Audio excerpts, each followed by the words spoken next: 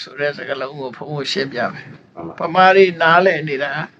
ကိုကလူတစ်ယောက်ကိုချေကျိုးအောင်လုပ်လိုက်ရင်ကိုချေကျိုးတယ်မှန်ပါဗျာအဲ့ဒါကိုဝတ်လဲတယ်လို့ယူဆတယ်မှန်တော့အဲ့ဒါတော့အကျိုးပေါ်တယ်လို့ပြောတယ်မှန်ပါဗျာဝတ္တဆိုတဲ့အဓိပ္ပာယ်အဲ့ဒါပြောတာမဟုတ်ဘူးသူကမှန်ပါဗျာဝတ်က၃မျိုးရှိတယ်မှန်ပါဗျာကိလေသာဝကမ္မဝဝိပါကဝဝတ္တဆိုတာလဲပတ်ပြီးဖြစ်တယ်အကြောင်းနဲ့အကျိုးနဲ့လဲပတ်နေတာမှန်ပါဗျာဥပမာဘဝကြီးဆိုဘုန်းတို့လဲပတ်တာလေအခု မနေ့ဆိုရင်နေထွက်လာတယ်ပြီးရင်နေဝင်သွားတယ်မှန်ပါဗျာညရောက်တယ်ပြီးရင်တစ်ခါမနေ့ရောက်တယ်ဒါလည်းလဲပတ်နေတာပဲလေမှန်ပါဗျာလဲပတ်မှုကိုဝတ္တလို့ခေါ်တယ်မှန်ပါဗျာအဲ့တော့ဘာဒီလဲပတ်တာတော့ဆိုရင်ရှင်တဲ့ကလိုချင်တဲ့စိတ်တွေဖြစ်တယ်မှန်ပါကိလေသာမှန်ပါဗျာလိုချင်တဲ့စိတ်ဖြစ်တော့ရအောင်လုပ်တယ်ကံကံတယ်ပါရလာတဲ့ဝိပါကအကျိုးမှန်ပါဗျာလိုချင်တယ်ရအောင်လုပ်တယ်ရတယ်လိုချင်ပြန်တယ်ရအောင်လုပ်ပြန်တယ် ကြိုးစားပြန်တယ်ဆိုတော့ဒီအကြောင်းအကျိုးကြီးကလည်းပတ်နေတာဟုတ်ဒါဝတ်လို့ခေါ်တယ်ဝတ်မလဲပဲနိဗ္ဗာန်ရအောင်လုပ်လို့ရလားဆိုတော့ဒီအကြောင်းအကျိုးဆက်ဆက်နေတာတွေကိုနိဗ္ဗာန်ရအောင်လုပ်တယ်ဆိုတာကဒီထဲကလုပ်ရတယ်သူကမှန်ပါဗျာဝတ်ထဲမှာပဲနိဗ္ဗာန်ရအောင်လုပ်လို့ရတယ်နိဗ္ဗာန်ရောက်သွားရင်ကတော့ဝတ်တာတွေကထွက်သွားပြီသူကမှန်ပါဗျာဒီထဲမှာသူကလုံးလို့ရတယ်ဝတ်မလဲပဲဆိုတာတော့မဟုတ်ဘူးဝတ်ကတော့လဲမှာမှန်ပါ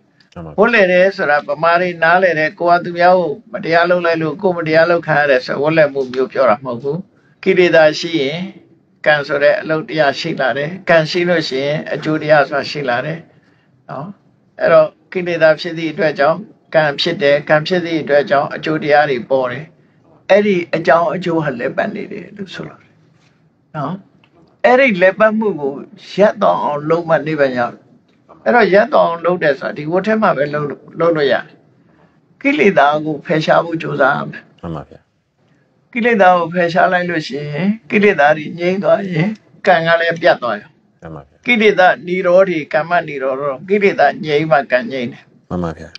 ကိလေသာငြိမ်းသွားရင်ကံငြိမ်းသွားတယ်ကံငြိမ်းသွားလို့ရှိရင်ဝိပါကဆိုတဲ့နောက်ကအကျိုးမလာတော့ဘူးမှန်ပါဗျာအဲ့ဒါနေပါရောက်ချင်းပဲဖြစ်တယ်ပေါ့နော်ဟောတိကံဆိုတာက နားလည်အောင်ပြောရမယ်ဆိုရင် expire ဖြစ်တာပြောတာမှန်ပါဗျာ expire ဆိုတာဆေးပစ္စည်းနဲ့သတ်မှတ်ထားတဲ့အချိန်ကုန်လို့ရှိရင်သူက expire ဖြစ်တာမှန်ပါဗျာဘာပစ္စည်းပဲဖြစ်ဖြစ်သတ်မှတ်ထားတဲ့အချိန်ပိုင်းကျော်သွားရင်ဒါ expire ဖြစ်တာမှန်ပါဗျာဒါအဟောတိကံရဲ့အဓိပ္ပာယ်ကအဲကံအနေနဲ့တော့ဖြစ်သွားပြီအကျိုးမလာတော့ဘူးချိန်ဒီကစံတတိကုံသွားပြီလို့ဆိုလို့တယ်မှန်ပါဗျာကံရဲ့စံတတိတစ်ခုကုံသွားပြီမှန်ပါဗျာကံကိုသူကသတ်မှတ်ထားတာရှိတယ် ကံတစ်ခုလုံးလို့ရှိရင်ဒီဘဝမှာအကျိုးပေးတဲ့ကံကိုဒိဋ္ဌဓမ္မဝိရဏိယကံလို့ခေါ်တယ်ဒီဘဝမှာအကျိုးပေးတယ်မှန်ပါဗျာနောက်ဒုတိယဘဝမှာအကျိုးပေးမဲ့ကံကိုဥပပစ္စဝိရဏိယလို့ခေါ်တယ်မှန်ပါဗျာနောက်တင်းတော်တဲ့ဘဝတစ်ခုမှာအကျိုးပေးမဲ့ကံမျိုးကိုဒီအပရပရိယဝေရဏိယကံလို့ခေါ်တယ်အဲကံသုံးမျိုးဒီဘဝမှာအကျိုးပေးမဲ့ကံကသူအကြောင်းအကျိုးမညီသည့်အတွက်ကြောင့် သူကအကျိုးထုတ်လို့ရမှာမထုတ်လို့ဘူးဒီဘဝကလည်းပြီးဆုံးသွားပြီဆိုရင်အဲကံအဟောတိဖြစ်သွားအဲ့ဆိုအိတ်ကံကောင်းတာရောဆိုးတာရောနှစ်ခုစလုံးဖြစ်နေနှစ်ခုစလုံးဖြစ်တယ်နှစ်ခုစလုံးနဲ့သက်ဆိုင်တယ်မှန်ပါဗျာဥပမာတစ်ခုဘုံကနားလဲအောင်ပြောရမယ်ဆိုလို့ရှိရင်ကဘာကျော်လူသက်သမားကြီးအင်္ဂုလိမာလာပေါ့ကြားဘူးတယ်မဟုတ်လားအဲ့ကြားဦးပါတယ်ဗျာအဲ့ဒီအင်္ဂုလိမာလာလူတွေတတ်ထားတဲ့ပါဏာတိပတ္တကံမှန်ပါဗျာသို့တော့ကိလေသာတွေကို तू ပယ်လိုက်နိုင်တဲ့အတွက်ကြောင့် အဲ့ဒီကံတွေကဒီဘဝမှာပဲအကျိုးပေးနိုင်တယ်သူကနောက်ဘဝဆိုမရှိတော့မှန်ပါဗျာသူကဘာလို့ကိရိတာပြတ်သည့်အတွက်ကြောင့်နောက်ဘဝဖန်တီးပေးမယ်တဏှာဆိုသူမှမရှိဘူးကံနဲ့ကိရိတာတွေမရှိဘူး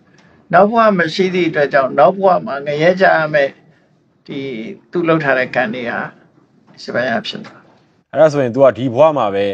तू ရဟန်းပြုရင်အချိန်တော့ခဲနဲ့အထုခံရတာဝိုင်းဆဲတာလောက်ပဲအဲ့ဒါလောက်ပဲနဲ့ပြီးသွားတယ်တင်ပါဗျာပြီးသွားတယ်ဟိုအမျိုးလိုပေါ့ တသက်တကြောကြာမှာတဲ့